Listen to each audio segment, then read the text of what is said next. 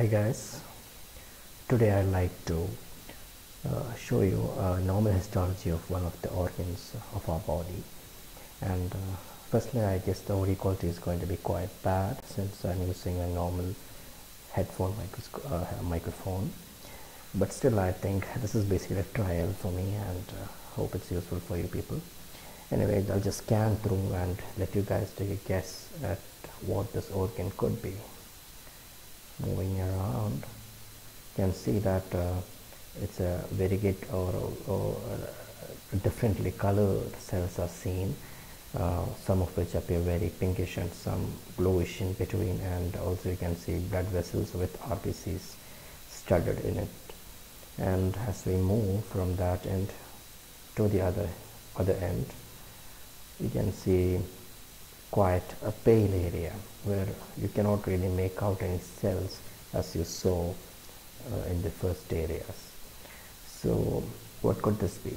This is the pituitary gland and what you saw first that is here this is the anterior lobe which is made up of acidophils, basophils and chromophobes.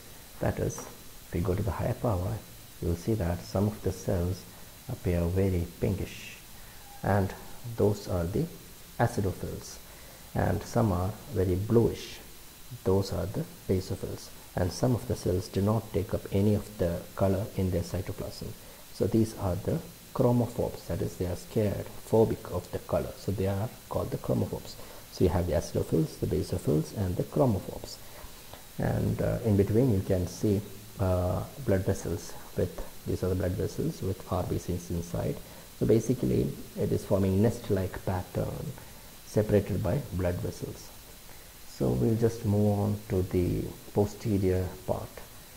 Uh, this is the posterior pituitary.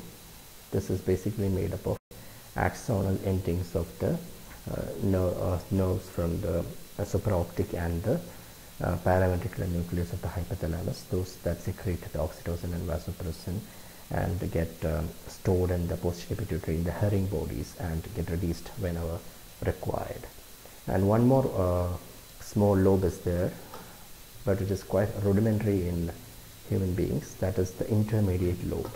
It is filled with something like a colloid filled look. It has a thyroid like appearance, colloid filled appearance.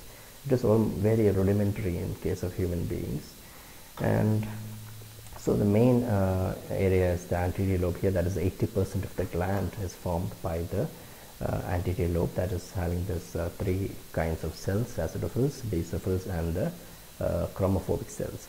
And the anterior lobe of the pituitary uh, gets signals from the hypothalamus. And uh, with that signal it will secrete prolactin growth hormone then the LH luteinizing hormone, follicular stimulating hormone, thyroid stimulating hormone, adrenocorticotropic stimulating hormones. So all these hormones are secreted um, by the pituitary when it get uh, releasing signals from the hypothalamus.